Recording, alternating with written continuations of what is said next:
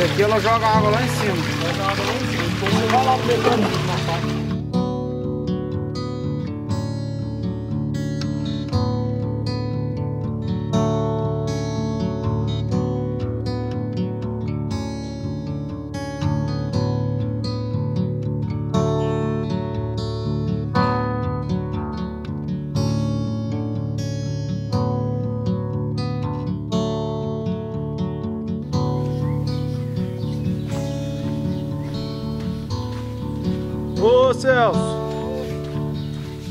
Tarde!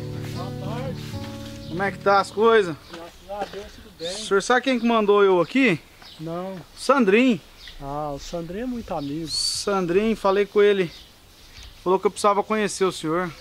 Muito prazer, seja É. bem-vindo. Obrigado. Ele falou que parece que o senhor, o senhor tem umas, um, um Parece que é um viveiro de cacto. O senhor mexe com cacto, com Tem. plantas medicinais. cacto, plantas medicinais. A propriedade aqui é pequenininha, mas aqui a gente faz um pouquinho de cada coisa. Tem criação de galinha, criação de peixe, criação de abelha sem ferrão, o cultivo de plantas medicinais, o cultivo de pitaia e outras frutas. Qual que é a finalidade das plantas medicinais que o senhor vende?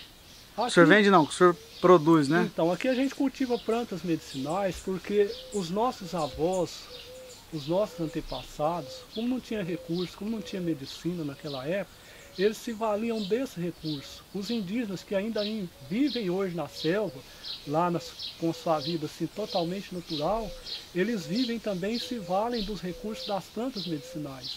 Só que com o avanço da ciência, da medicina, dos recursos modernos, o pessoal abandonou né, o uso das plantas medicinais, dos recursos assim, mais naturais. Só que agora nós estamos vivendo uma época que as pessoas começaram a entender o valor das plantas medicinais, começaram a entender o valor de uma vida mais pura, de uma vida assim mais tranquila, serena, né? Então assim, por que não voltar ao passado? Ter uma vida mais simples, morar numa casa modesta, cultivar as plantas medicinais, as frutas naturais, sem veneno, sem agrotóxicos, viver bem com a natureza, viver em harmonia com a natureza, sem devastar, sem destruir. Então esse é o nosso objetivo aqui. Entendi. Eu queria que o senhor apresentasse aqui pra gente um pouquinho de cada coisa do que. Tô vendo atrás do senhor aqui são é abacaxi? Não, isso aqui é um ananás. Isso aqui é uma- Ananás? É uma coisa raríssima isso aqui, ó. Ah, Esse ananás no passado, o pessoal do sítio, das fazendas, usava ele como cerca viva, para cercar mangueiro de porco, cercar às vezes até o lugar para o gado não passar, era usado como cerca viva. E o ananás, a fruta dele, como tem um gosto assim, parecido com o gosto do abacaxi. O cheiro é até mais acentuado do que o cheiro do abacaxi quando está maduro. Ele é usado para fazer suco, fazer licor, para fazer mousse, fazer geleia, mas a fruta pura não consegue se comer porque é muito ácida ela é azeda. é azeda, muito, parece com abacaxi, mas é muito forte. É a só um abacaxi usa-. Mas ele é um primo do abacaxi no é, caso, pai, né? sim, é da mesma família. Então a gente usa para fazer licor. No, quando está na época né, dele maduro, a gente pode, faz licor, faz suco. Os meninos tomam, a gente toma. Entendi. Vamos dar uma volta. Vamos Queria que o sim. senhor apresentasse aqui pra mim um pouquinho da propriedade aqui. Que tamanho que é aqui? Ah, aqui é pequeno, é coisa de dois mil e poucos metros, dois mil e quinhentos metros de área. É uma, uma mini chácara, né? Mas aqui a gente cuida com, com todo carinho, com todo cuidado. Vamos começar mostrando aqui pelo jardim de cacto, né? Então assim, dada a preocupação que a gente tem com a natureza, com o meio ambiente, eu mesmo construí esse cacto aqui, ó, de cimento. Ele tem 3,80 metros de altura. Esse cacto aqui é uma réplica do saguaro.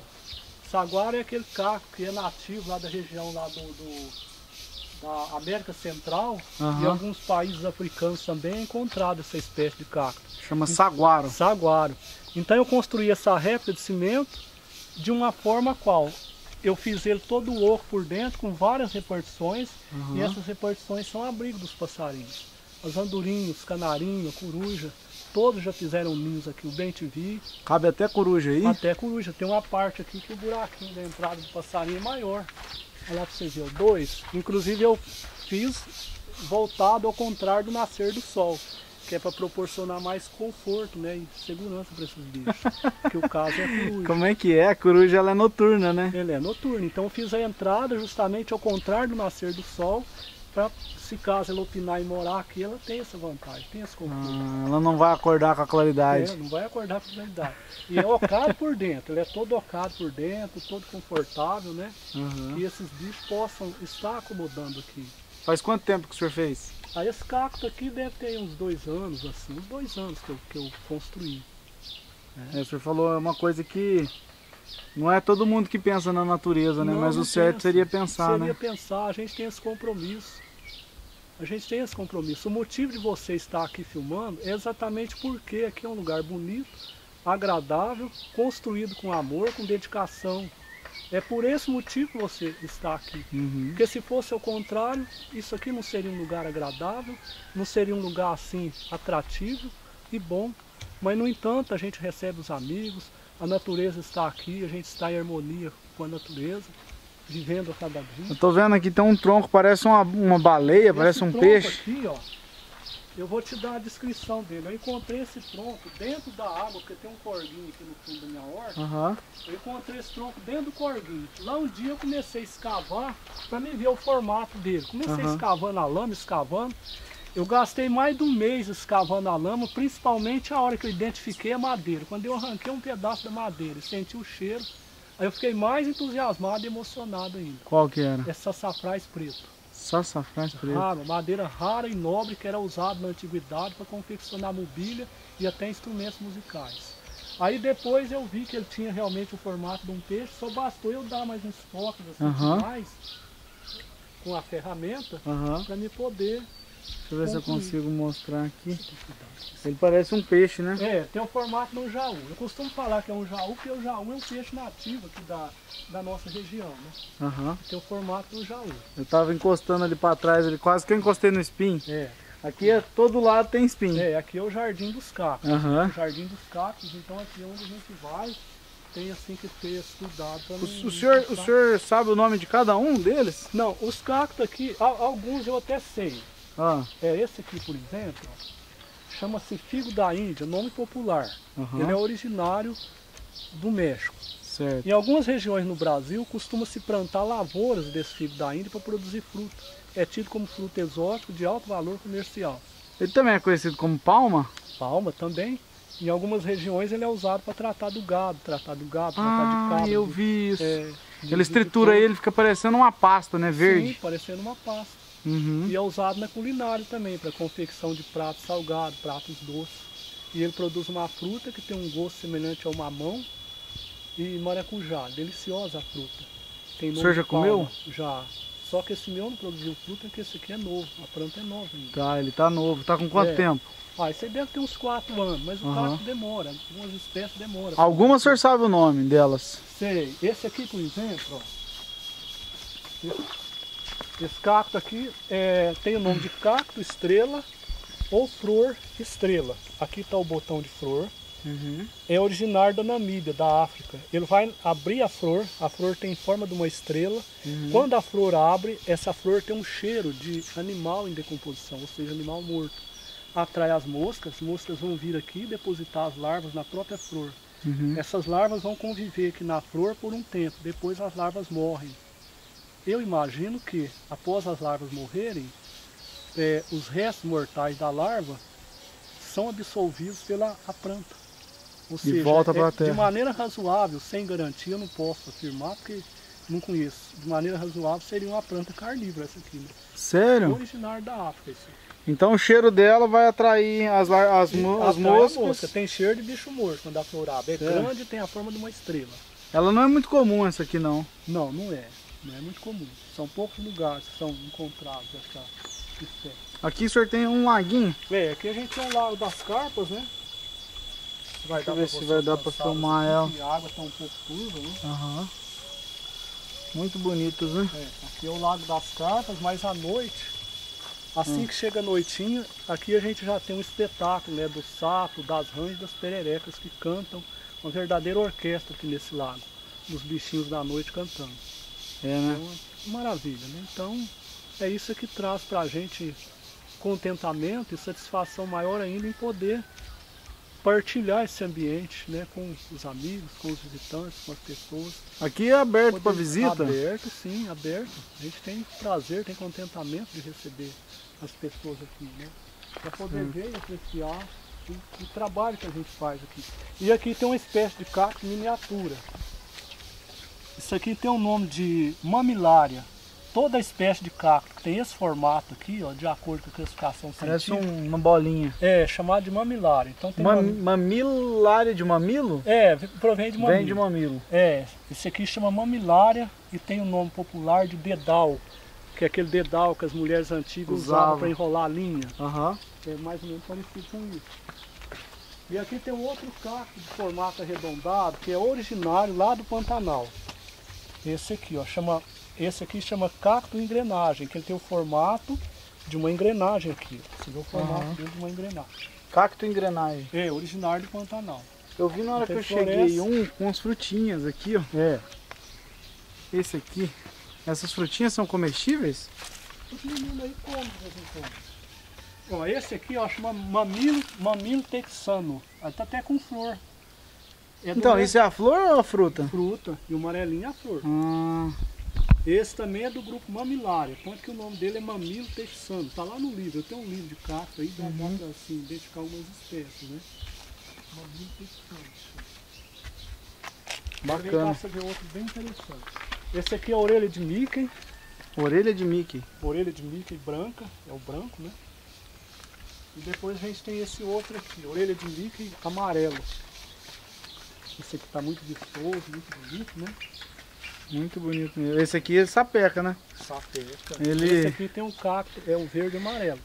Quando você olha, parece que esse amarelo é sinal que está morrendo, não é a, é a, é a A, característica a dele. planta é assim É o mesmo. formato dele.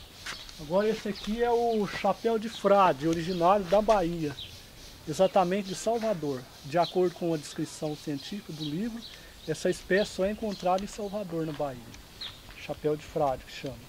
E onde que o senhor vai arrumando é, as espécies? Esse aqui um amigo meu trouxe para mim, um caminhoneiro trouxe para mim, eu plantei e depois ele foi dando flor, dando semente e daí foi aumentando. As mudas começaram a nascer, eu fui aumentando. A muda dele tira a partir de onde? Da, da sementinha? Semente, semente, semente Aqui não. o que tá, esse vermelhinho aqui, Essa parte vermelha aqui ó, é um pendão. Esse pendão, à noite, abre uma florzinha minúscula cor de rosa. Aham. Depois, essa florzinha forma-se uma fruta, só que o fruto é interno, ele forma Uhum. interno. Depois, na hora que o frutinho está maduro, ele espelha a, fru- a fruta. Ele espelha a fruta, lança a fruta aqui, ó, e a frutinha cai, e daí ela germina. Logo, E aí você vendo que ela, que ela brotou aqui, você tira e passa para outro de lugar. tempo em tempo a gente tira, tira as Entendi. mudinhas. E vai plantando. Eu tô vendo ali também uma espécie de abacaxizinho, parece ali. né? Tem também. Só Vamos que lá esse abacaxi aqui, ó, é um abacaxi ornamental. Ele é apropriado assim para se cul- cultivar em jardim, né? Uhum. É uma espécie ornamental. Ele amadurece, fica amarelinho, dá até assim vontade de, de, de vir comer e tal, mas é, é duro. Ele não é assim suculento. Não é docinho, não. Não, não, não tem gosto. É um abacaxi ornamental. Vamos descer então, vamos. Agora tem mais um outras? cacto interessante aqui para você ver também. viu?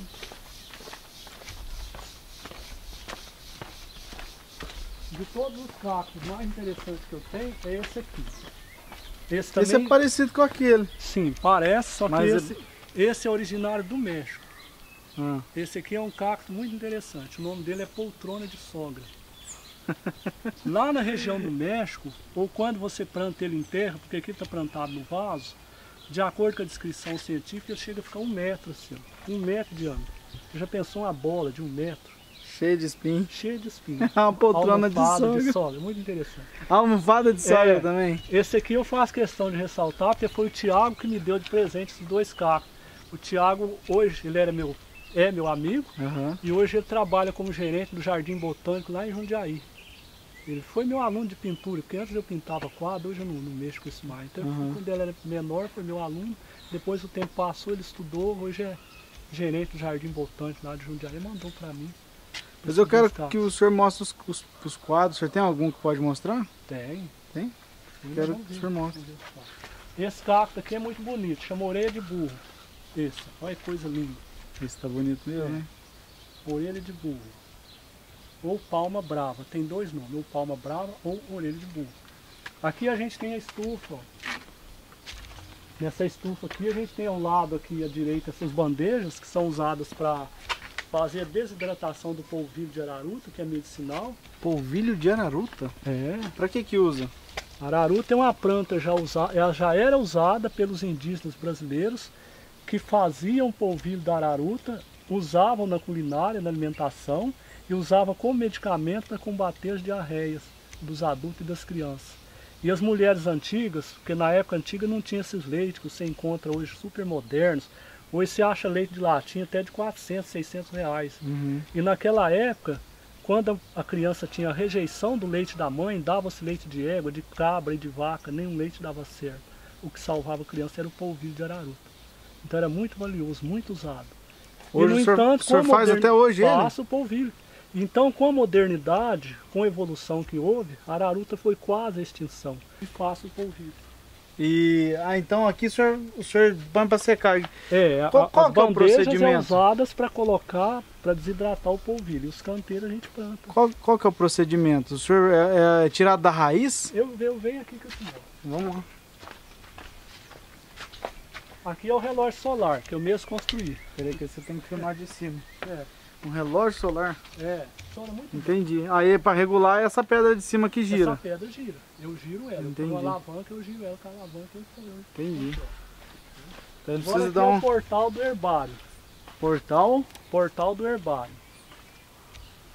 Não sei se vai dar para pegar aqui. Ó, tá escrito lá, herbário Soquinzote. Certo. Plantas que curam. Soquinzote é o grande amigo que está me passando a herança do conhecimento, cultivo e manejo das plantas medicinais.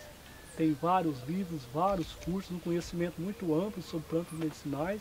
E eu já estou idoso, eu falei, eu já estou de idade, qualquer dia eu já não vou estar aí mais. Então eu tenho que passar essa herança para alguém. É Pra muito alguém. amigo, é uma pessoa que eu tenho um carinho, um respeito muito grande por ele. Está me passando essa herança do conhecimento. Quinzote. É, das plantas medicinais. Então você tinha perguntado sobre a araruta. Aqui nós temos o canteiro de araruta. Parece um lírio, né? Sim. Deixa eu ver se eu consigo. Aqui. Você vai. Ó. Aqui está a raiz da araruta. Quando ela está adulta, ela tem o formato de uma cenoura. Uhum. Só que branquinha. Aí a gente colhe essa cenourinha, branquinha, leva para a água corrente, lava ela. Eu, eu, durante um tempo, eu tive que fazer um estudo por minha conta própria Uhum. uma engenharia por minha conta própria. Eu mesmo inve- inventei as máquinas, eu tenho aqui as máquinas de, eh, de, de, de triturar, de liquidificar essa araruta, tem a máquina de lavar. Eu mesmo construí, com, com, a minha ideia, sabe? Uhum. Um maquinário para poder processar esse polvilho. Então você pega essa raiz, lava, depois Ela é o formato de pica, uma cenourinha. formato uma cenourinha. Lava, pica, coloca no liquidificador, liquidificador gigante com motor que eu mesmo construí. A máquina lavadora passa pela lavadora, depois pica, depois vai para o liquidificador. Depois vai para os tanques de decantação para que o polvilho possa descer, decantar. Depois você tira a água, coloca outra água para lavar o polvilho. Depois você tira essa água, põe o tambor de polvilho lá na bandeja para a massa secar. Quando a massa seca, você joga a massa no pano, em cima de um pano branco. Torce. Depois sova a massa, depois passa na peneira fininha. E depois de uns três dias ou quatro dias no sol, você pode colher e armazenar. O polvilho fica branquinho. Infecção no intestino, é, diarreia, é, virose no intestino, tudo que for da natureza do intestino, até onde eu sei, esse polvilho cura. É valioso. É usado na culinária também. Só que assim, para culinária eu acho meio improvável devido o, assim, o custo dele em si. Aham. Ele é meio Mas caro. é mais, mais valioso para os O medicinais. senhor, o senhor vende o. É por quilo? Ou o senhor vende ele No menor? pequeno. Qual que é a fração, fracionada em quanto? Ah, a gente tem, tinha aí uns potinhos assim, parece que é 200 gramas. 20, 20 25 reais. Uhum. 200 gramas o potinho. Só que antes de acabar de fazer o polvilho, o pessoal Já já, tá vende, vendido. Já, já acaba com sobra. Entendi.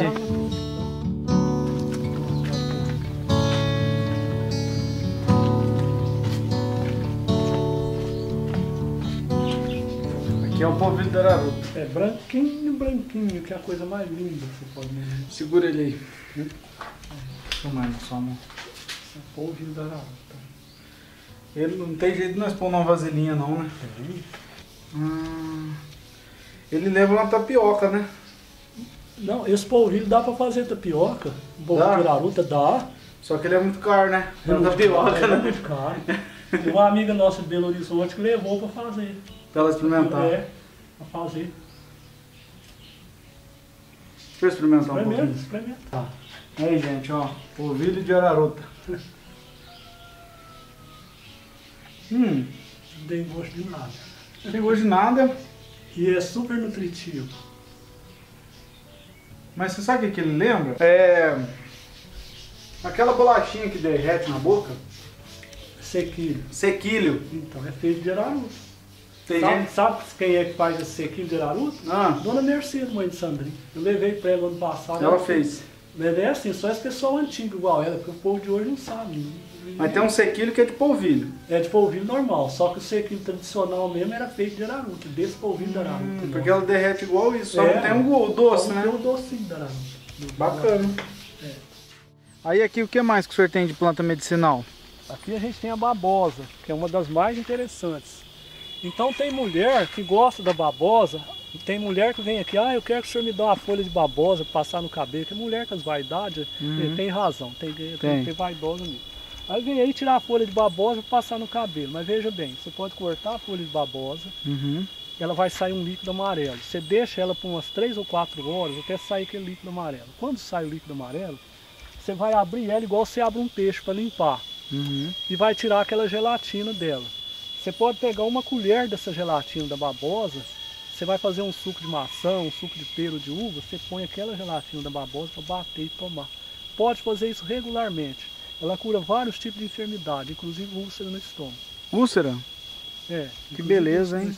É um valor extraordinário na, na, na- Não é só pra beleza, pro, é ca- pro pra cabelo, que pra É. pele, né? Tem umas que É. passam na pele também, Tem né? uns relatos que, tem uns relatos aí bem antigos que fala que o pessoal que ia para a guerra, alguns soldados já sabendo do valor medicinal da cicatrização, usavam esse gel da babosa, levavam um, um tipo de uma, Um uma vasilha, assim, um potinho com o gel da babosa para curar as feridas. Então é uma planta muito valiosa. Deixa eu pausar o vídeo aqui. Pode continuar. E aí aqui pra trás aqui a gente tem Isso aqui é a menta. menta. Menta é uma planta da família do hortelã. Ela é usada para fazer licor, né? O pessoal que tem prática e que tem facilidade de fazer o licor, pode usar a menta para fazer o licor. E é tido como valor medicinal também. Essas enfermidades de gripe, infecção nas vias respiratórias, pneumonia, pode fazer o chá. É uma planta muito valiosa. Esse aqui é o bálsamo. Aqui é menta também. Dentro também. Esse aqui é o bálsamo. Você pode pegar uma folhinha dessa gordinha, ou três, por dia e mastigar para curar a úlcera. Não tem coisa melhor para curar a úlcera. Isso aqui, ó. Diz que tem gente que come no meio da salada, esse Pode, também, né? pode, pica os pedacinhos, põe no meio da salada e come. E aqui uma das mais preciosas que a gente tem, ó, apesar que não está ainda com fruto, essa Uhum. aqui, ó, é o cará insulina. Ele produz um carazinho assim, ó, redondinho, de uns 2 centímetros de diâmetro. Você pega um carazinho, uma batatinha dessa, pica em quatro partes, põe num copo d'água, deixa por uma hora e meia ou duas horas. A Uhum. pessoa que tem problema sério de diabetes pode fazer uso disso aqui, tomar regularmente essa água, esse suco desse carazinho, que cura ou regulariza totalmente a Ah, enfermidade. é o mesmo que estivesse tomando a insulina. Excelente. Cará insulina que chama. É muito raro isso aí. Esse aqui é o alecrim, uma planta de alto valor medicinal, usado também na culinária, né? Nos temperos, nas carnes Hum, assadas. Na, na medicina é usado pra quê o alecrim? Ele é calmante, usado como calmante. Calmante. também. É. Esse aqui é o funcho, né? Funcho também é o chá para curar gripe, curar resfriado, para curar cólica de recém-nascido. Gases, né? Também, não é? Também, esse aqui é camomila, ó. Camomila também é calmante, tá até com florzinho. Excelente para fazer chá para recém-nascido também. A camomila ela serve pra cólica também? Serve para cólica também, recém-nascido, criança. Essa é das mais importantes que nós temos aqui, esse aqui é o pariri. Pariri? Sim. Quando a pessoa fez uma cirurgia, perdeu muito sangue, está com anemia, fraqueza, pega três folhinhas dessa desidratada, não precisa nem ferver, só pegar a folha desidratada, colocar em um copo de água, daí a poucos minutos a água vai estar da cor de um vinho, marronzinho. Aí pode tomar regularmente. Quem tem anemia ou pessoa que perdeu sangue por motivo de cirurgia pode estar fazendo uso da folha do pariri. Pariri. É um santo remédio. E ele, ele não produz fruto. Não. Não? Não. Só o raminho. Só a folha. Agora aqui você vai conhecer a uva, uva brava. Essa uva brava aqui, ó, a folha cura cólica no rim, infecção na urina, qualquer enfermidade, ou seja, várias enfermidades de natureza do rim, essa planta aqui cura. Uma planta valiosa também isso aqui. Uva brava. Essa Uva- produz fruto? Ela dá um cachinho parecido com um cacho de uva, só que umas frutinhas bem pequenininhas, parecido com um cacho A de uva. folha dela parece a folha Parece. da uva, né? E ela tem o nome também de salsa parrilha. Ah, então quem Salsa conhecer estiver achando que tá errado, mas é que é um segundo nome dela. Segundo nome. Então, várias plantas dessas medicinais que a gente cultiva aqui, dependendo da região, ela, Ela vai um ter nome. nome. diferente. Mas normalmente costuma ser a mesma planta. Essa, por exemplo, chama melissa. É, essa eu conheço como melissa Ela também. tem um cheiro de erva cidreira. Essa também é calmante. Calmante também. Essa aqui é a terramicina. Terra micina, É. Essa aqui, ó. essa usa pra quê? antibiótico. Você pode ser usado para curar in- infecção no no estômago, úlcera, é pra, você pode colocar ela junto com, a, com aquela que nós vimos primeiro lá, com a menta, com a era terrestre juntas, Uhum. para poder fazer o chá para gripe, para pneumonia, não tem melhor.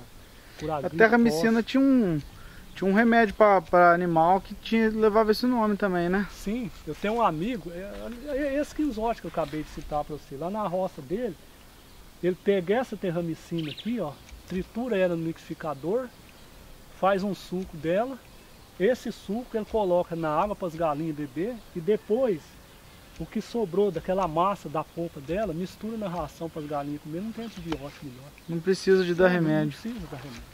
E uso pra gente também. E outra planta interessante também é essa aqui, ó. Ela é verde por cima, verde por cima, branquinha por baixo. Uhum. Essa aqui, ó. Ela é muito valiosa. Ela cura a enfermidade do rim, Uhum. infecção na urina, chama panaceia miúda. Essa panaceia miúda só é encontrada dentro das matas. Eu só tenho ela porque eu trouxe ela dentro da mata e plantei aqui. Porque não acha. cuidado, não, não acha ela assim qualquer cultivada lugar. em quintais, em qualquer lugar. Qualquer problema de infecção no rim que tiver, ela cura. Panaceia miúda. E aquela ali? Aquela ali eu conheço também, ó.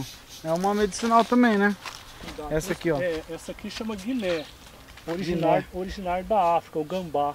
Gambá, é. Isso aqui você pega a raiz dela, arranca a raiz, pega a raiz dela, põe curtir no vinho branco. Esse vinho, vinho que você compra Uhum. ele comer. Deixa curtir no vinho branco, a raiz. E toma umas três colheres por dia para curar dor na coluna. Essas dor braba que a pessoa tem na coluna. Uma beleza, não tem Tô vendo problema. atrás de você ali, tem outro ninho. Ah, esse comp- chega mais perto isso. Então, isso aqui é só mesmo para ressaltar esse compromisso que a gente tem com a natureza. Então é o que eu falei para você, sendo eu uma pessoa que vive da luta, eu gastei, por exemplo, uns 250 reais para fazer aquele caco, devo ter gastado uns 300 conto para fazer isso aqui. Então eu vivo da luta. Tenho meus dois filhos para tratar, tenho esposa enferma, não posso nem trabalhar, vivo disso aqui. Uhum. Eu, a Vera, outra pessoa, a Vera de pensar o seguinte, não, não vou gastar esse dinheiro, não, vou plantar batata, mandioca, coisa. Mas não. O amor e o compromisso que eu tenho em preservar a natureza, a vontade que eu tenho de ter um mundo melhor, eu faço sacrifício em função da própria natureza também. Uhum. Então eu não faço sacrifício e trabalho em função só do meu bem-estar, do meu prazer, do meu lucro, não. Eu penso no amanhã, eu penso no- nos meus irmãos, nos seres da natureza. Árvores, animais, passarinhos, sabe? Uhum. Aqui o que a gente não come de fruta, que a gente não come, eu coloco ali para os passarinhos, macaquinhos. Ah, vem macaquinho aqui? Tem macaco, lagarto, à noite você pode sair aqui, você vê tatu na horta. Não, você vê tatu andando aqui ó, na horta.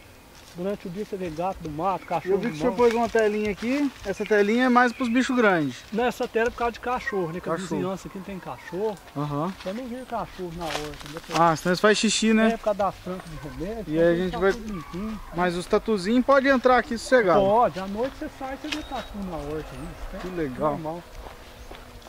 Agora aqui tem outra plantinha interessante, essa aqui, ó. Plantinha rara, poucas pessoas têm ela. Marcela que chama. Marcela. Quando você come uma carne gordurosa, na época do Natal ou no final de semana, que o estômago fica roncando, beber uma cerveja, beber um vinho, o estômago tá ruim, você pega um pedacinho dela assim, ó, Hum. pedacinho pequenininho, macera ele na mão assim, Uhum. põe na boca, você vai até fazer careta, tão amargo que é, mas daí um pouquinho você já, já pode voltar para tomar novo, tomar outro para rebater. Qualquer problema de estômago, dor no estômago, má digestão, ela cura, sabe? É tipo um boldo. É, ela é Só que ela é mais forte. Margosa demais. Marcela ou Marcela. Marcela ou Marcela. É. Agora nesse canteiro, nesse setor, a gente tem as plantas que são usadas para tempero. Aqui a gente tem a orégano, que é essa aqui, ó, uhum, usado para tempero. Aqui a gente tem o coentro, que é aquele coentro mais conhecido, mais tradicional, e parece com salsa. As pessoas que conhecem a salsa é, fala que parece com o coentro, né? Então é mais ou menos igualzinho o coentro. Esse é coentro. coentro. Acho que eu vou experimentar esse aqui. Coentro. O coentro eu nunca comi. Não coentro. Esse aqui, ó. Esse aqui, esse outro aqui é o coentro da Amazônia, coentro dos índios. Uhum. Esse coentro aqui, ó, lá no Pará, lá na Amazônia, você acha nas feiras livres as porçãozinhas para vender. O pessoal valoriza e usa isso aqui lá. É usado para temperar as muquecas de peixe, as panelas de peixe, as caldeiradas, os molhos de carne, com esse coentro aqui. Coentro da Amazônia. Como que o senhor consegue essas mudas? É sempre amigo que traz? Isso, a gente, eu, a gente acaba assim tendo um intercâmbio com pessoas que são apreciadores, amantes dessa arte de cultivar plantas medicinais, amantes da própria natureza. Então eu dou muda para os outros, ganho muda, então a gente está sempre, né, sempre tendo assim. O senhor tem um telefone que se alguém quiser doar alguma muda, quiser buscar alguma muda, para falar com o senhor? Ou... Telefone até tem, só que eu mesmo não tenho telefone. Uhum. Quem tem é minha esposa, e minha, e minha, filha, que é a uhum. Maria, minha menina tem 13 anos, ela já uhum. que mexe com o celular, mas eu, eu não tenho. Entendi. Mas aí qualquer coisa a gente pode estar tá fornecendo. É, mas é, é, porque aqui é, não é difícil também, né? É. E Chega... esse aqui é outra espécie de coentro, ó. Esse aqui chama coentro africano.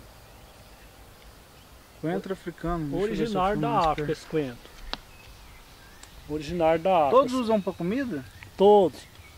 Só que parece que coentro... dá um abacaxizinho também. É, né? esse aqui é essa espiguinha da semente. Só que esse coentro aqui, ó, ele é encontrado muito no estado da Bahia, da Bahia uhum. e do norte de Minas. O pessoal valoriza demais isso aqui lá. Coentro africano. Para que que eles usam lá? Na culinária.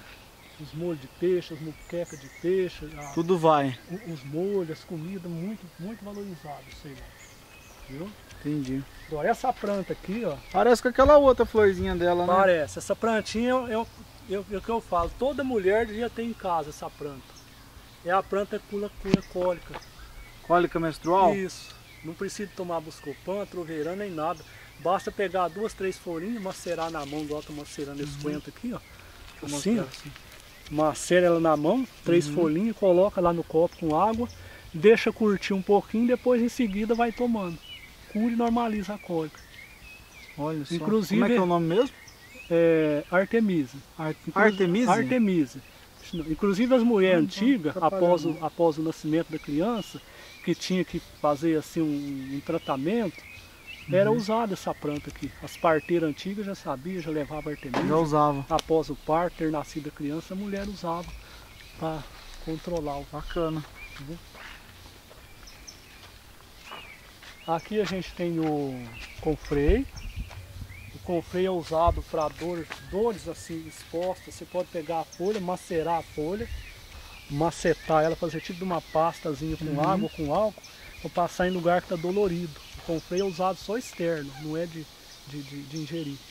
É uma planta muito valiosa para curar dores externas. E aqui nós temos também uma outra planta que as mulheres também devem cultivar, porque é remédio próprio para cólica, novralgina. Essa aqui, ó. Novralgina. Até ela leva o nome daquele remédio, né? Isso, novralgina. E essa aqui, ó, da folhinha bem redondinha, chama Era Terrestre. Ah, parece um moranguinho. Parece. A folha do morango. O nome é Era Terrestre. Você pega essa folhinha, você pode juntar ela com melissa, aquela melissa que nós vimos de lá. Pode juntar ela também com a menta e fazer um chá para bronquite, para resfriado, para tosse, não tem coisa melhor. Essa aqui ó, é a chapéu de couro. Chapéu de couro. Antigamente tinha até um remédio da farmácia que era usado para o pessoal que tinha reumatismo, da enfermidade de reumatismo, usava uhum. muito esse chapéu de couro. E, a- e pessoa- ele levava esse nome, o remédio? Elixir, tinha um remédio que chamava elixir de caju. E esse elixir de caju era composto com chapéu de couro, um remédio que saiu do, do- do- da circulação do comércio. Você não vê nem falar isso hoje mais. Era um tal de elixir de caju com chapéu de couro, que era para curar reumatismo. E, e fortificante. No estado de Goiás, parece que ainda tem, ainda existe uma empresa lá que produz refrigerante com essa planta. A Olha. folha dessa planta. É igual o Guaraná. Igual você comprar o Guaraná, esse Guaranazinho que você compra na- no, no boteco da esquina. Lá você compra o refrigerante. Desse, de- dessa aí. planta, de couro. Coisa, hein? É muito interessante. E aqui a gente tem as plantas né, que são de raízes. Essa aqui chama Zedoária. Parente do lírio também. Ó, Zeduária? Zedoária, ela tem uma mancha roxa. Quando a folha seca e cai, tá na época de colher. E a gente vai lá arranca a raiz. A raiz é tipo uma, uma mandioquinha, tipo uma batatinha. Certo. Essa raiz você faz um chá. Esse chá é para combater o bronquite, o resfriado, as tosses, pneumonia, não tem coisa melhor. Zedoária. E o mais interessante, ó, esse aqui, ó, você vê que ele não tem a mancha roxa, igual aquele lá. ó. Essa tá novinha. Essa aqui é o açafrão, ou curcuma. Inflamação, negócio de dor na É coluna. uma folha bem igualzinha. Dor nas... A diferença é que não tem a mancha roxa aqui. ó. O açafrão também usa como condimento. Sim, usa como condimento. E o que você pensar de dor na coluna, dor nas articulações, não tem igual para curar isso aqui, ó, o açafrão. Isso aqui você acha os comprimidos, as pílulas de, de, de curcuma na, na farmácia. Acha para comprar, esse remédio. E esse aqui é o. Mas tá, tá, tá sozinha essa mudinha. É, esse aqui está separadinho, esse aqui já é outra espécie. Esse aqui é o. É aquele que é usado no. no o pessoal fazia quentão, que esse quentão antigo. É o Gengibre? gengibre. E esse aqui é uma das mais raras que eu tenho aqui. Esse aqui até parece, olha pra você ver que parece um pouco, que aqui é de lá. Não tem manchinha roxa. Uhum. Esse aqui chama ariá. Ariá. Ninguém cultiva, só algum, al- algum, algumas famílias indígenas né, em algumas regiões do Brasil que mantém o cultivo. Ele produz uma batatinha e essa batatinha é alimento. Você pode arrancar ela aqui, pode comer ela cozida ou comer É igual um inhame. É, se a pessoa estiver numa mata, estiver perdida, assim, Ariá. tiver você pode achar, se conhecer, pode arrancar e comer. Esse É tem que ver lá também ou não? Pode, se quiser ver lá, pode, mas não tem necessidade Ele não. não- Você não- pode não comer é na hora que ele não. é suculento. Ah, comer sem, sem é, cozinhar? O ari, é, o ariá é suculento. E aqui eu tenho uma outra espécie também que chama jacatupé, que é nativo também. Esse é nativo lá do, do, do México. Ele produz uma batata grande, você arranca na hora do chão, descasca com a mão, tá? com o dedo você tira a casca e pode comer cru. Tem gosto de pera, chama jacatupé. Doce? Doce sim, tem gosto de pera. Esse é nativo do México, mas eu tinha um outro que era da Amazônia também. Esse, eu, Esse o senhor sabe o gosto dele ou ainda não Gosto batatinha. Que é a batatinha mesmo que você compra lá no, no- no mercado. mercado? Só que ela é mais crocante, mais ressecadinha e suculento. Tem um, um- um suquinho. Você morde, ela é sempre mais ressecadinha, mais crocante do que a batatinha normal. Chama ariá. Ariá. E esse aqui é o mangarito. Raro, muito raro também. Ele produz uma batatinha pequenininha, assim, mais ou menos desse tamanho. Uhum. Quando na época da colheita, você tira essas batatinhas, põe velar. Depois pode cozinhar ela inteirinha com casca, em seguida você tira a casquinha dela, fica no formato de uma gema de ovo amarelinho cozido. Vamos explicar pra turma que não sabe o que que é velar. Então velar significa o seguinte, você arranca batata, tudo que for rizoma, raiz, batata ou cará, o inhame principalmente, ou mesmo esse aqui que a gente acabou de mostrar, que é o mangarito. Você pode arrancar as batatinhas do mangarito e colocar dentro de uma peneira no sol. Por que numa peneira? Essa peneira tem que ficar suspensa para o ar passar e circular normal. E ele vai velar. Velar significa desidratar, sair aquela água dele, tem que sair aquela Uhum. água. É isso que é velar. Aí depois que ele está velado, o inhame ou o carazinho de mangarito, ou o cará de jacatupé, ele estando velado, você pode guardar. Há relatos de pessoas que guardavam o cará de inhame e o cará de mangarito, às vezes por um ano. Um ano guardado. Sem Naquele tempo não tinha geladeira, não tinha recurso, guardava dentro de casa, num canto da casa. Então velar significa isso, você desidratar para guardar. Aí E- guarda E ele vai fica pronto para consumo, né? Fica Qualquer momento pode consumo. consumir. É, pode consumir. Então a vantagem é essa. Eu tô vendo aqui, tem uns pés de pitaia. Sim, aqui a gente tem o cultivo da pitaia também. A pitaia que o senhor produz aqui é para consumo, para venda? Como é que é? Consumo, aqui a gente vende. Você tem ideia, eu sou o pioneiro do cultivo de pitaia aqui. Eu fui o primeiro a plantar pitaia. E depois, eu vendi mudas de pitaia para o professor Silvio, que é um proprietário de tem uma fazenda aqui próximo. Eu vim de muda de pitaia, trabalhei por um tempo na fazenda, nós formamos a primeira plantação, a primeira lavoura comercial de pitaia na fazenda do professor Silvio Pérez. Depois, em seguida, outro empresário aqui da nossa, do nosso município, o Renato Del Bianco, também iniciou, iniciou o cultivo de pitaia com mudas a partir daqui de casa e outros mais. Hoje aqui no município já tem várias pessoas que cultivam pitaia, né? então várias espécies. A gente tem aqui a pitaia amarela com espinho, amarela sem espinho, a pitaia branca, a pitaia vermelha. Ela se dá bem, roxa. ela se dá bem em qualquer lugar, pitaia. Sim, é uma, é uma clima brasileiro. resistente, ela é, é, é uma espécie de cacto, é né? um cacto muito resistente. Muito resistente a pragas, a doenças, de, de fácil manejo, fácil cultivo. Né? Qual, qual é a época do ano que ela produz? Ela começa a produzir, começa a, a, a floração exatamente agora, nesse mês que nós estamos. Já começa, algumas ali até já estão com flor. Só que esse ano a produção de pitaia não vai, ser, não vai ser boa, porque infelizmente a gente teve aqui o problema da geada. A geada matou praticamente a metade da, da, dos ramos da pitaia. Então eu tive que fazer uma poda quase que radical e agora que elas estão brotando. Então eu fiz a poda, fiz o tratamento né, com esterco é, aqui orgânico e tem um produto orgânico também que eu mesmo faço para pulverizar toda a plantação, todo o pomar, Como é as é plantas medicinais. Esse produto orgânico é feito à base de frutas. Então quando você tem excesso de fruta no pomar, Uhum. é, goiaba, manga, laranja, ou até legumes como batata, é, qual- qualquer coisa assim, de, de fruta principalmente. Você vai pegar essas frutas, picar uma quantidade de fruta, colocar num tambor com água, colocar açúcar mascavo, tem que ser açúcar mascavo. Você vai pôr uma proporção de água, uma proporção de fruta picada, uma proporção de açúcar mascavo. Durante 30 dias você vai lá todo dia e vai mexer aquela, aquela solução. Você vai mexer por 30 dias. Depois de 30 dias você vai fechar esse tambor, deixar fechado por 60 dias. Depois de 60 dias você vai lá, você vai abrir esse tambor, você vai coar essa solução. Quando você coar, esse líquido que você coou, você vai pôr em outro tambor. Esse líquido você vai colocar numa depois numa bomba para poder pulverizar o pomar, sua horta de verdura, não tem a mínima contraindicação, combate lesma, combate caramujo, intimida as formigas. Se tiver formiga cortando uma planta, você vai lá, prepara uma solução, chama enzima. Você pulveriza com essa enzima a planta que a formiga está cortando, intimida porque ela é um fungicida orgânico natural. E sendo fungicida, uma vez sendo fungicida, as formigas não cortam porque elas não querem nada que combate o fungo lá na Que é o que colônia ela delas, consome. que é o que ela consome. Olha. Então você pode pulverizar o pomar, pode pulverizar a lavoura, é um fungicida natural. Quem inventou isso foi uma médica tailandesa. Então eu trabalhei no sítio aqui, minha patroa, doutora Dilma, trouxe esse aprendizado, essa prática de fazer essa enzima.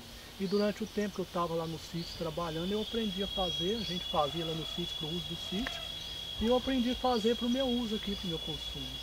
Então é um produto natural, não tem contraindicação nenhuma, você pode pulverizar toda a plantação, todo o pomar, a, a horta de verdura, as plantas medicinais. É Muito bacana isso aí. eficiente. Acho que o vídeo já valeu só desse fungicida aí, já Então, essa- valeu, já, já vai ajudar muita gente, né? são essas coisas que a gente precisa. né? Porque a gente fica com receio. As formigas elas são é, um, como se diz, né? Um mal necessário, né? Sim, Porque a gente tem que ter elas. é.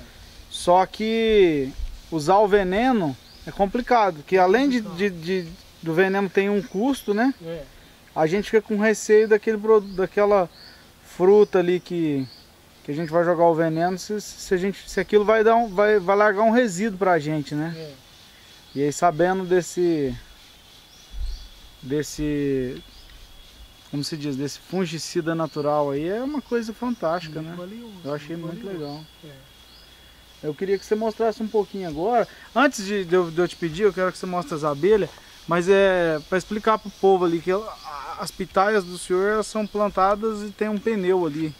Pra que que serve aquilo? Vamos lá ver do perto. Vamos lá ver. Eu mesmo projetei esse esteio de cimento. Ele tem o formato de um T, Aham. depois ele tem um arco de ferro em cima. Aqui, esse aqui dá pra mostrar melhor. É.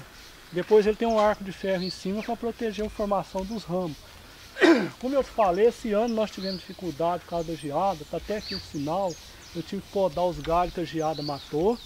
E esses galhos aqui são os que a geada não matou, são os galhos adultos. Certo, Inclusive tem um aqui com formação já de flor. Certo. Então esse ano nós vamos produzir poucas pitaias. Teve ano que galho desse aqui chegou a dar 12, 15 frutos aqui, ó, num galho desse aqui. E esse ano, devido à geada, vai produzir pouco. Então, eu construí esse de cimento, mas depois com o passar do tempo, eu quis uma coisa mais prática. Aí eu passei para esse aqui, ó, que é o esteio de madeira tratada Vê. com pneu. Aí é feito assim, ó, você coloca uma cruzeta de ferro em cima, faz um furo, deixa eu ver se acho que dá pra ver daqui, não Isso. dá? deu pra ver de cima, aqui ó, tem dois É. ferrinhos. E o pneu é cortado. Ninguém precisa questionar, mas vai dar mosquito da dentro. Não, não tem nada. é disso, cortado por cortado baixo. embaixo. Cortado embaixo, o pneu em cima, aí a, a pitaia vai formar o leque, Certo. tá? Aí ela forma aquele leque ali que a gente tá Isso. vendo. E aqui a gente faz o tratamento com esterco de galinha, com a cama de frango e a compostagem orgânica, que é tudo produzido aqui mesmo. Aham. E aqui a gente tem também um sistema de irrigação bem eficiente aqui, ó. Aqui, ó. Eu tenho uma, uma placa de comando ali, ó. Eu tenho uma caixa. Dessa caixa eu tiro a queda d'água por, por, por via natural para cá, por declividade, sem gastar energia nenhuma. E vem para cá por declividade. E lá na placa de comando eu controlo a irrigação das pitaias, controlo a água das galinhas, controlo a água da estufa, a água das plantas medicinais, de todo esse Os peixinhos também. Dos peixes também, tudo controlado pela placa de comando lá. A gente vai Tudo- filmar tudo, ela. Tudo por via natural. E a irrigação vem aqui. Cada uma tem um num pé. Cada uma tem. Eu vou ligar para você ver funcionando. Você Eu vai- vou, aqui eu não molho não. Não, não. Ela pinga. Cada equipamento. Tá.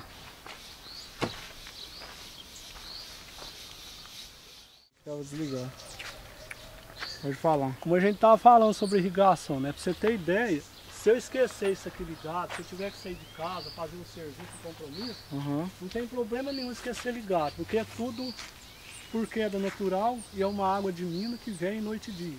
aham. Simplesmente vai vai estar aí funcionando sem problema. Só que nos períodos mais críticos, eu levanto à noite, às vezes 9, 10 horas, até meia-noite, levanto para fazer o revezamento né, da irrigação. Eu tiro das pitaias, passo para a estufa, tiro da estufa, passo para as plantas medicinais e vou senhor aguou à noite? À noite também, né? Nos períodos mais críticos, que nós Quando tá com pouca água. geada, né? Com pouca água, essa seca passada que nós tivemos aí, né? Uhum. Então a gente tem que estar dando todo o cuidado aí, né? De manejo dessa água para poder irrigar e manter as plantas. Bacana. É. Eu queria tomar uma água pra gente descer lá pro senhor mostrar as abelhas. Água de é outra. Então aqui é o painel Isso. da irrigação. Esse aqui é o painel que eu controlo, controlo todo o setor da irrigação aqui. Como é que funciona aí? A água vem da caixa por declividade. A água vem da mina e abastece a caixa por declividade. Em seguida eu tiro a água da caixa também por declividade, por desnível, e jogo para cá para esse, pra esse painelzinho de comando. Nesse painelzinho de comando aqui eu passo a irrigação para onde eu quiser. Aqui está nas pitaias, eu tiro das pitaias e põe na estufa. Pronto, já passou para a estufa. Que é essa aqui. Tá na estufa aqui. Se numa emergência eu quiser lavar alguma coisa, aqui, ó. Eu tenho água na emergência, eu lavo Deixa eu aqui. mo- olhar e Tá mostrar aqui a estufa. Aí tá funcionando. Tudo por declividade, sem gasto de energia. Então ali virou a chave. Virou, tá tranquilo. Bacana. Né? Tudo controladinho, irrigou, terminou toda a sequência, eu vou lá, fecho para não ter gasto de água, para não ter desperdício. Tudo com economia, tudo com segurança. Meus meninos sabem fazer o manejo, tudo certinho. Se eu tiver que sair numa emergência, eu aconselho eles para cuidar certinho. Então tudo bem controlado. Top. Cá, Vamos tomar uma água. Essa aqui é parente, é pitaia também. Aí tá com flor, vai abrir essa noite. Vamos ver o que a gente deu.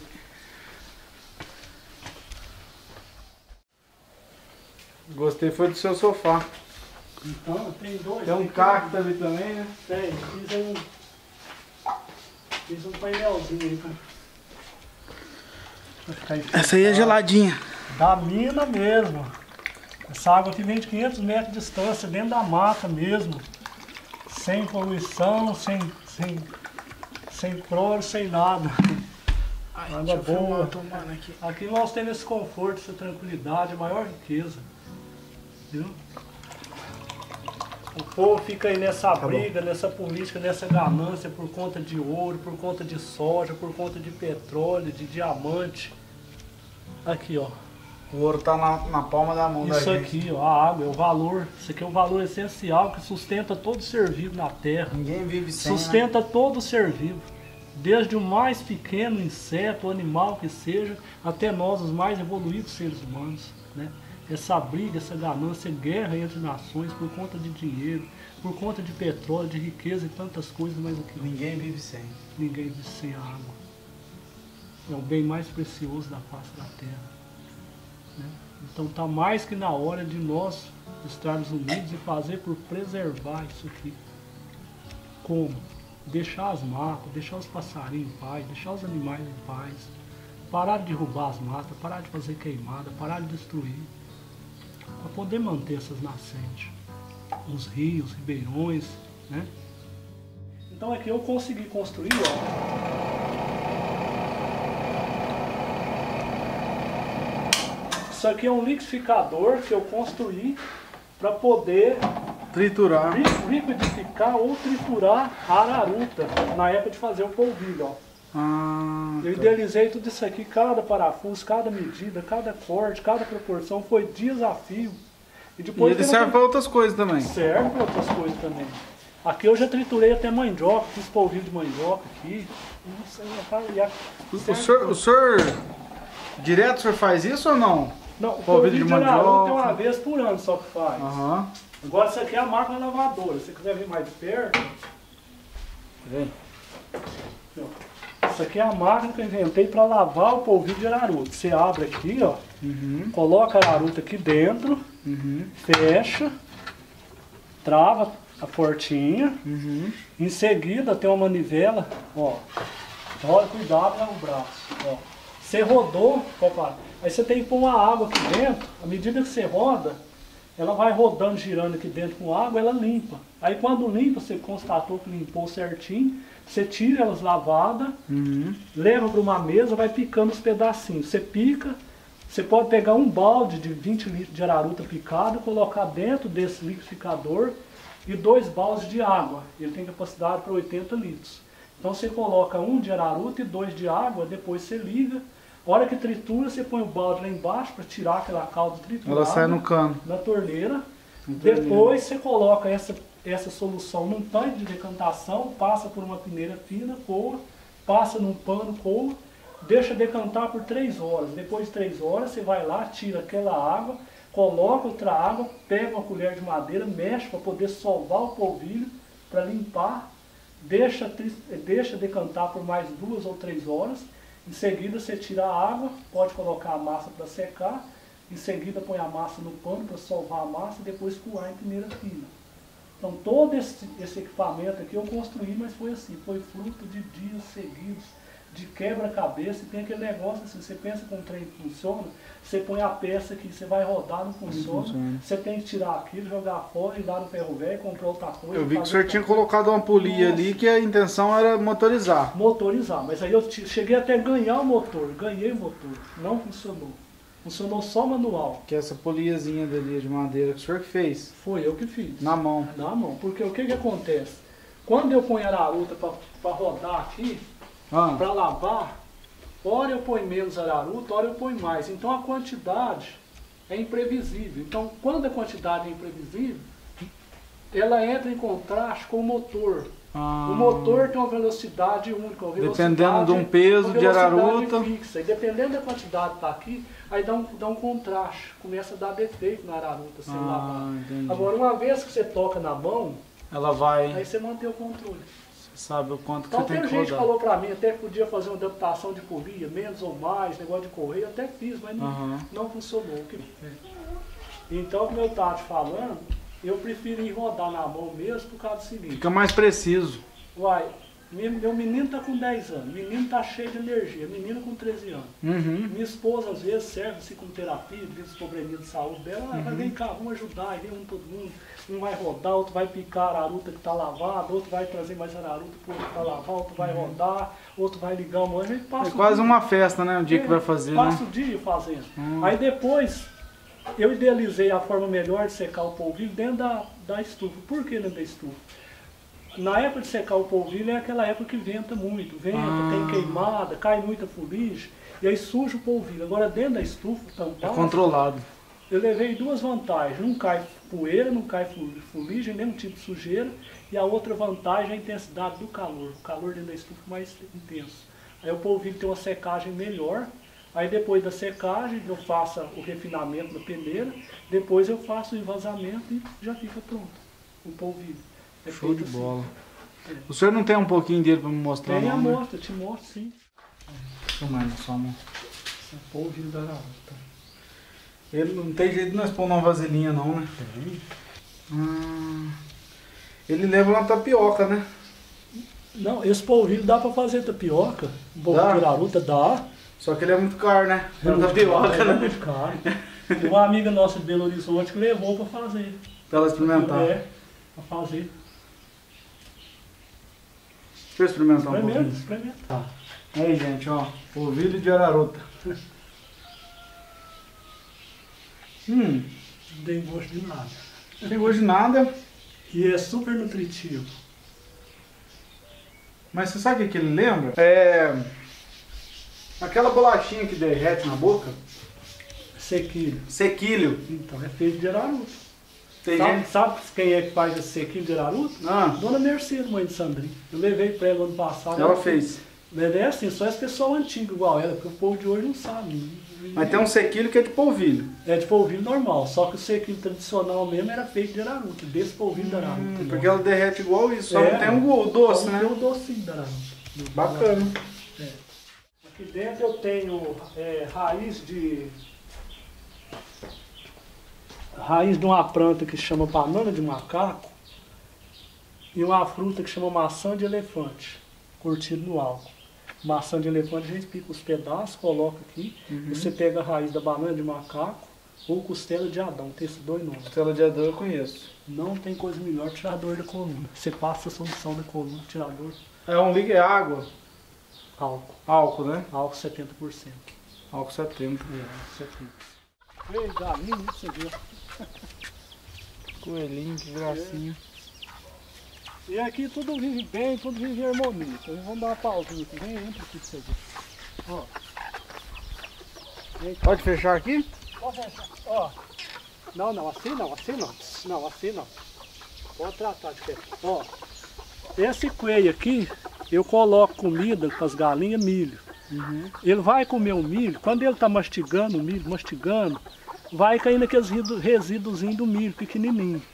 Os pintinhos não conseguem comer milho inteiro, então eles vêm aqui perto do coelhinho, fica bem perto da boquinha dele, ele vai mastigando o milho, mastigando, deixando os resíduos do milho cair, os pintinhos ficam ao redor comendo.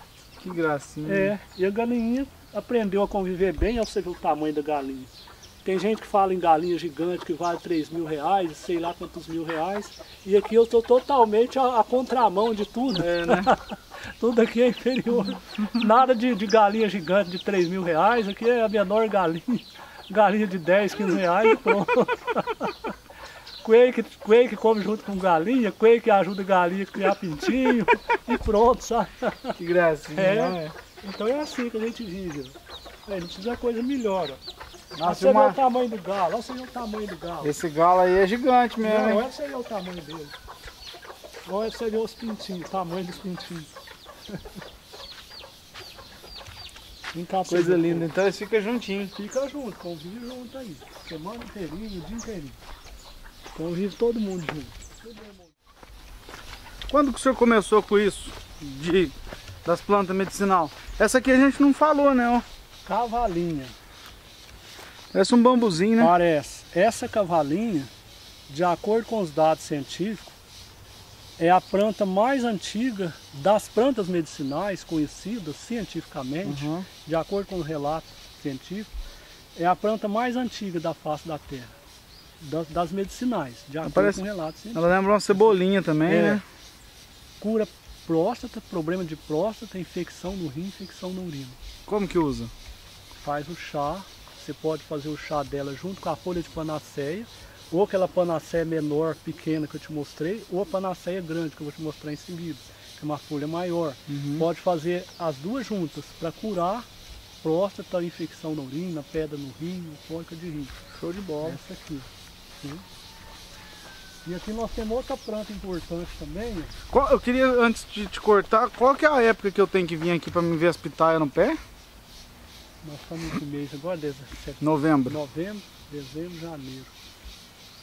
Eu acredito que janeiro já vai ter fruta, apesar que não está muito garantido, que devido ao enfraquecimento que, que teve nas pitaias, por consequência da geada, das podas que a gente teve que fazer, né? Mas eu acho que dezembro já deve ter fruta. Fim de dezembro? É, no início de dezembro já tem fruta. Um mês? É, É rápido então até. agora aqui a erva de bicho, ó. Nós já tivemos casos de pessoa que tinha problema seríssimo de hemorroida, estava quase que previsto fazer cirurgia. A pessoa desistiu da cirurgia, vamos, procurar uma outra alternativa. Por atrás da erva de bicho. Sarou, acabou o problema. Temos relato confirmado já ali. Atrás ali é citronela, o que que é aquele ali? Citronela. Citronela, aquela afasta os mosquitos. Aquela lá é repelente. Repelente. Repelente natural, né? Citronela é valiosa. Agora aqui nós temos o meliponário, né? Meliponário? Meliponário, a palavra correta que, que para discernir a criação de abelhas sem ferrão. O outro chama apiário. apiário e a criação de abelha de ferrão meliponário. Então assim, eu aconselho o seguinte, é, já está mais que na hora que as pessoas que, que têm suas lavouras, suas plantações, começar a prestar bem atenção nesse detalhe, que as abelhas estão extinguindo. Vai chegar um tempo que vai ficar difícil de produzir grãos, produzir sementes, hortaliças, frutas, porque as abelhas são responsáveis pela polinização e produção dessas culturas. E sem as abelhas, o rumo será o fracasso. Nada mais vai Nada produz, né? nada produz. E as abelhas estão extinguindo, principalmente em função da grande quantidade de agrotóxicos, hoje com o sistema mais sofisticado e moderno que existe, por meio de drones, por meio de aviões, aplicando venenos em grande quantidade. As correntes de vento levam esses venenos para áreas muito intensas, atingindo matas, atingindo as plantações, onde quer que haja as abelhas, estão matando e extinguindo. Aqui no nosso município mesmo tivemos um problema gravíssimo, sério, com extermínios completos de abelha. E aí a pessoa vai, entra na justiça, acaba virando um rolo danado que o dono da abelha leva prejuízo e não tem justiça que resolve, nada se resolve. Estão acabando, as abelhas estão extinguindo. Mas aqui dentro desse perímetro aqui da minha propriedade, eu considero assim, eu não uso veneno, tudo aqui é na base assim, do, do, do respeito, da boa consideração com a natureza.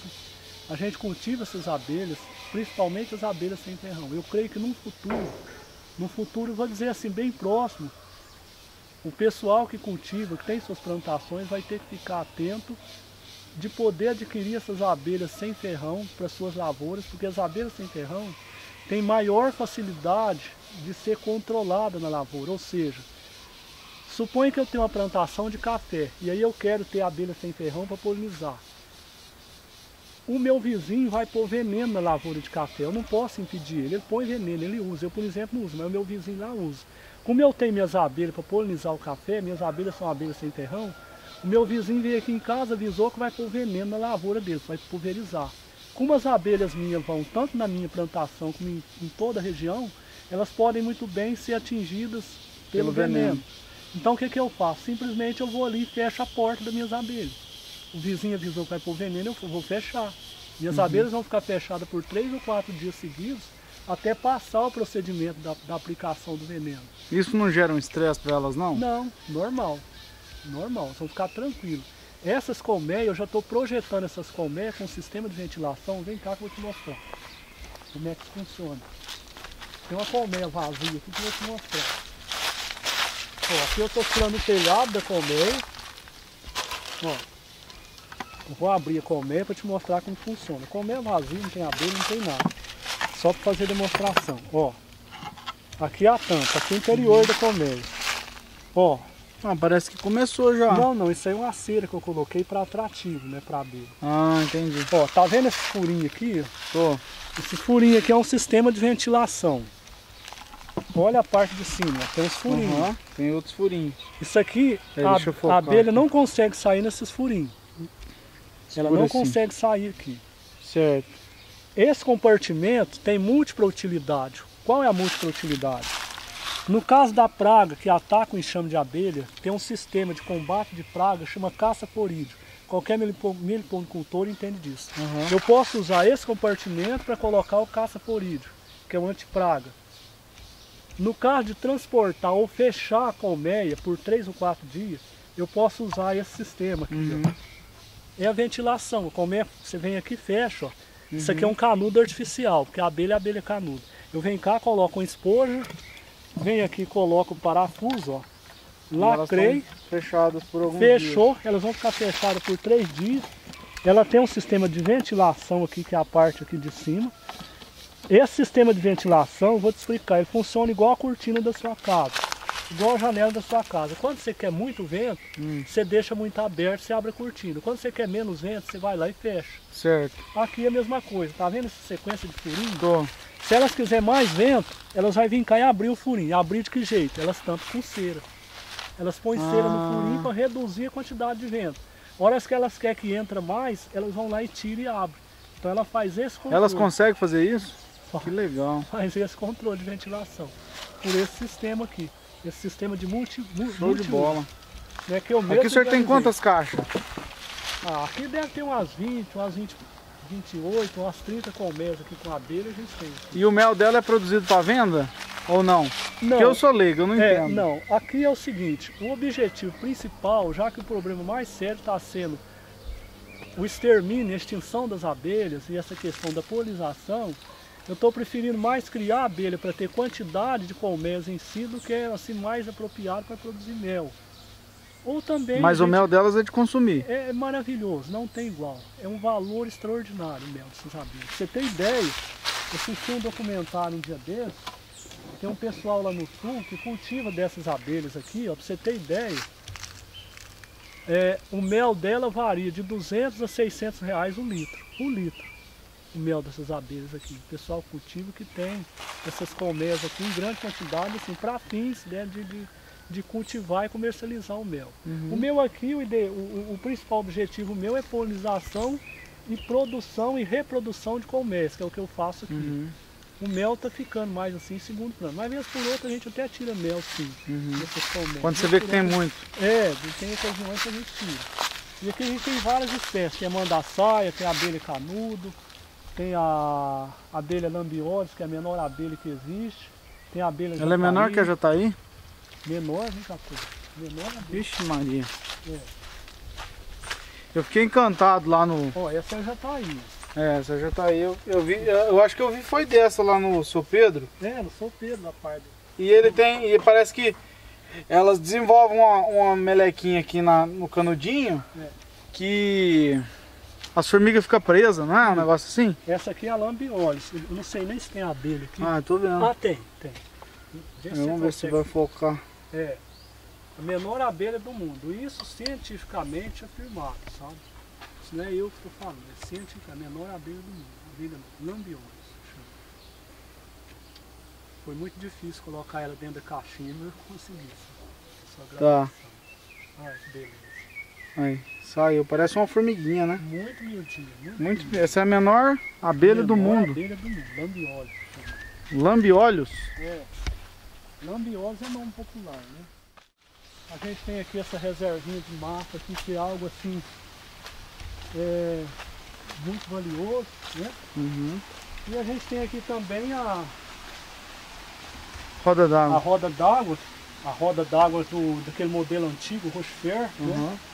Uhum. Ela funciona, só que agora, graças a Deus, com a volta da chuva, eu vim aqui, desativei ela. E não Uhum. está tendo necessidade da gente usar a água dela. Então ela é muito deixo- difícil de senhor ativar ela pra gente ver. Não, Tá funcionando? dá- pra, dá pra ativar. Vou abrir ela você. Vou descer aqui. Pera aí.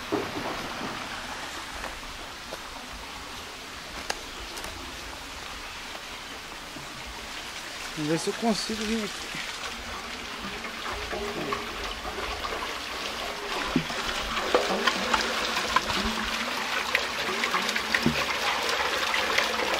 E aqui ela joga água lá em cima. Joga água lá em cima. Depois você vai lá no mecanismo, na parte do mecanismo lá.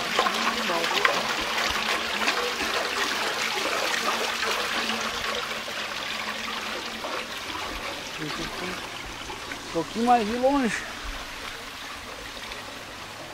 Parou.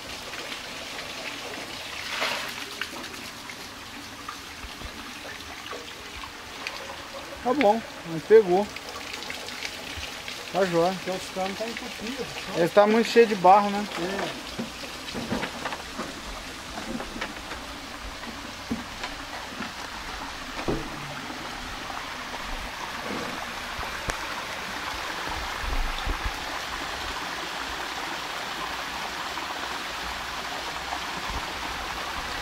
E essa barragem foi eu mesmo construí. Para a gente poder ter o controle da, da queda d'água, para poder funcionar esse, essa roda d'água.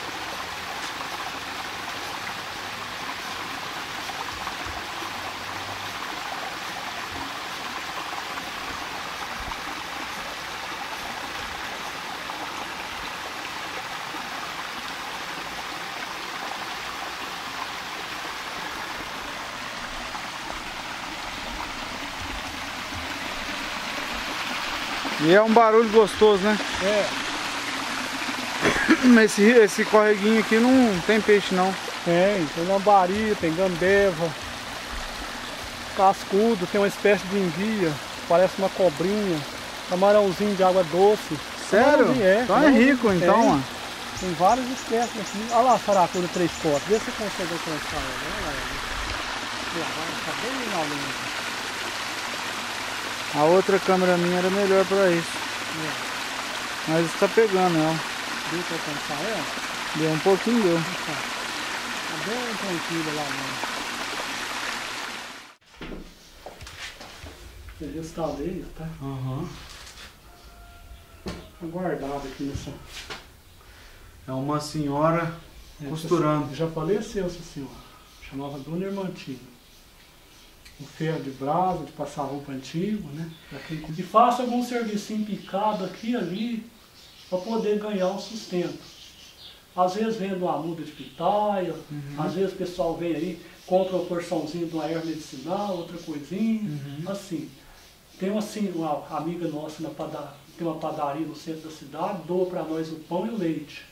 E aqui tem o CRAS, o CRAS você conhece, né? Acho que eu já ouvi falar. É, CRAS é, uma, é um órgão assim que trabalha no, pro benefício da sociedade. O CRAS faz uma doação de cesta básica para nós que diário. O pessoal do mercado praiano agora, eles fazem também uma montagem lá de uma cesta básica que é feita assim à base de frutas, legumes e verduras. Então o que, que acontece? O tomate às vezes tem uma manchinha, tem um sinalzinho, ninguém compra, eles vão e separam. A banana, qualquer outra fruta, qualquer outro legume dá um defeitinho, eles separam.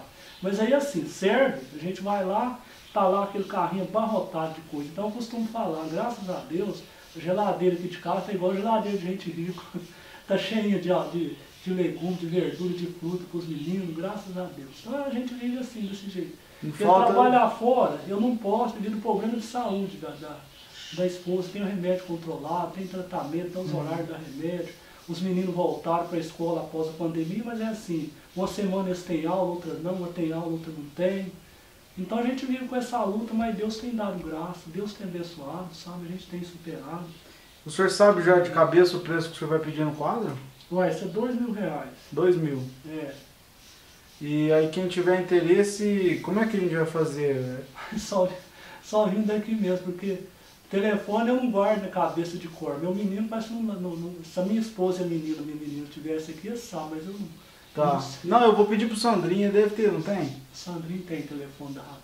Então tá. Porque eu não uso telefone, internet, essas coisas. A única Tá. coisa que eu assisto é um jornalzinho de tarde, um novelinho da tarde, só eu não envolvo com essas coisas, que é ruim demais. Aham. Televisão só notícia ruim, só porcaria. assim. É, né? É, Então tá, eu vou pedir pro Sandrinho ele vai passar pra mim então.